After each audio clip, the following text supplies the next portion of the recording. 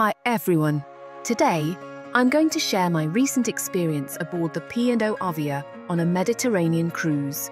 Now, I've got to be honest, there were some highs and lows on this trip, and I want to give you all a fair and balanced review.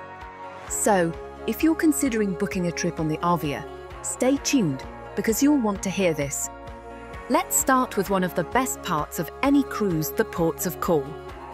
My Mediterranean journey took us to some incredible destinations.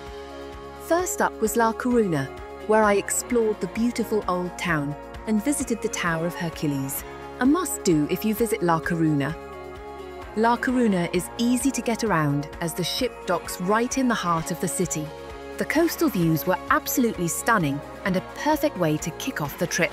In Mallorca, I opted for a beach day in Palma Nova.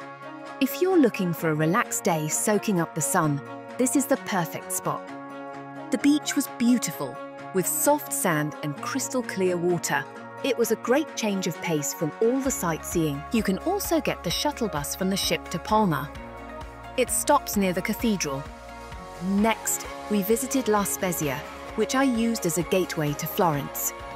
Florence was everything you'd imagine rich in history, art, and of course, amazing food. It's easy to navigate and wander the cobblestone streets. The Duomo was certainly a highlight. As well, Florence's Old Bridge, or the Ponte Vecchio in Italian, is a medieval, pedestrianised bridge at the southern edge of the city's historical hub. It is one of Florence's most photographed sites. It was a packed day, but totally worth it. Other options from La Spezia include a visit to Cinque Terre. Barcelona was another highlight. There's just so much to see and do. I hit the must-see spot of La Sagrada Familia. Honestly, just wandering around and taking in the atmosphere was a joy, including wandering down Las Ramblas and visiting the La Boqueria market. But be careful as I was warned before visiting several times about pickpockets in Barcelona. The city's vibrant energy is contagious. I stayed on board instead of getting off in Marseille and made the most of Arvia being quieter and got an infinity pool to myself. However, there is a shuttle bus that will drop you off and several people I spoke to said that they enjoyed Marseille. I had heard mixed reviews previously. Have you been? Let me know in the comments if you think it's a good port of call.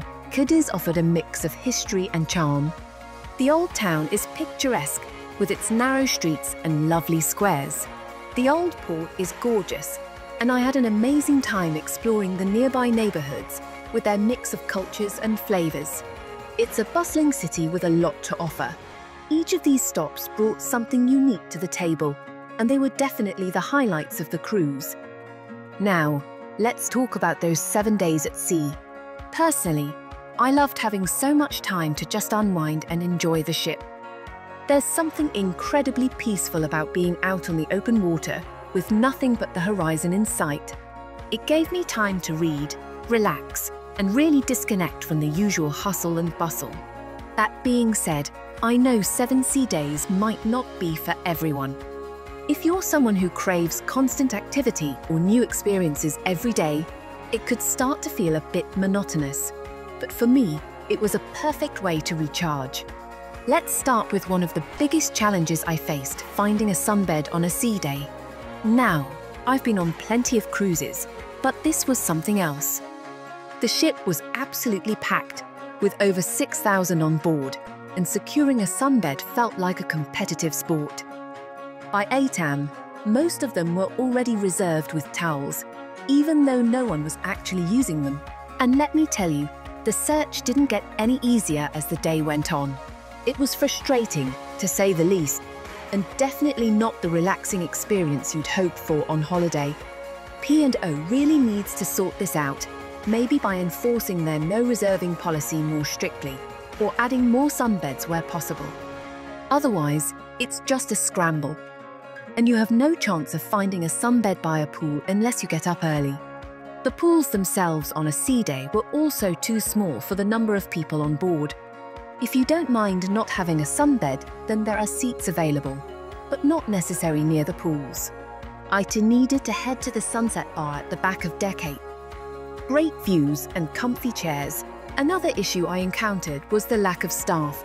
The ship felt seriously understaffed, especially in the bars and dining areas. On more than one occasion, I was left waiting far too long for service, and it seemed the crew were run off their feet.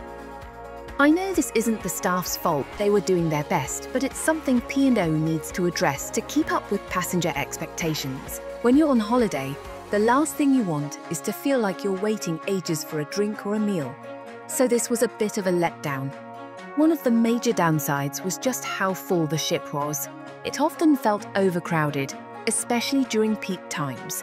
Getting from one place to another could be a bit of a challenge with the sheer number of people on board the elevators were often packed, and navigating through the ship sometimes felt more like a chore than a leisurely stroll.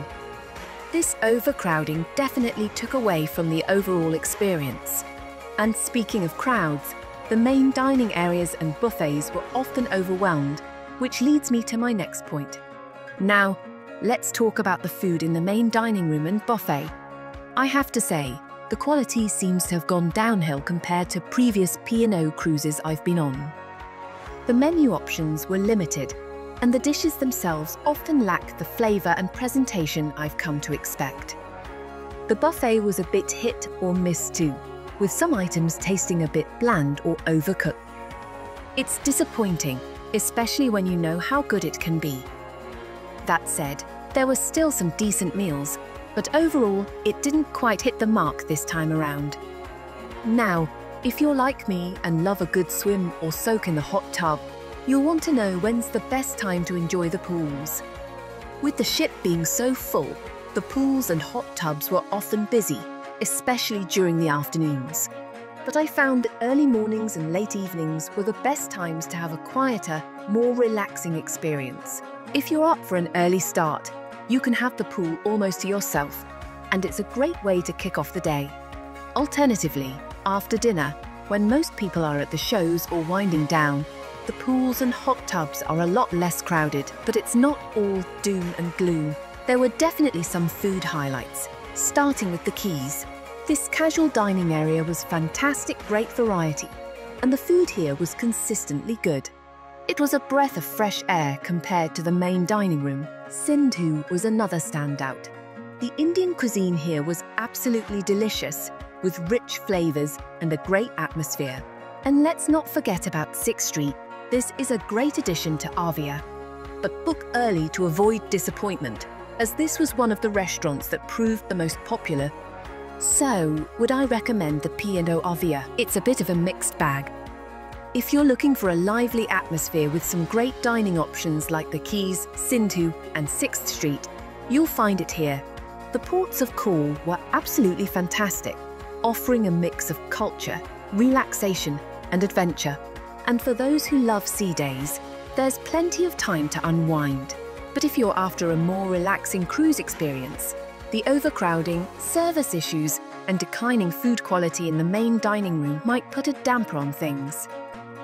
P&O has some work to do to bring the Arvia up to par with its other ships, but there's still potential here. Thanks for watching, everyone. If you found this review helpful, don't forget to give it a thumbs up and subscribe for more travel content. Have you been on the Arvia or planning a cruise soon? Let me know in the comments below. I'd love to hear your thoughts. Until next time, happy cruising.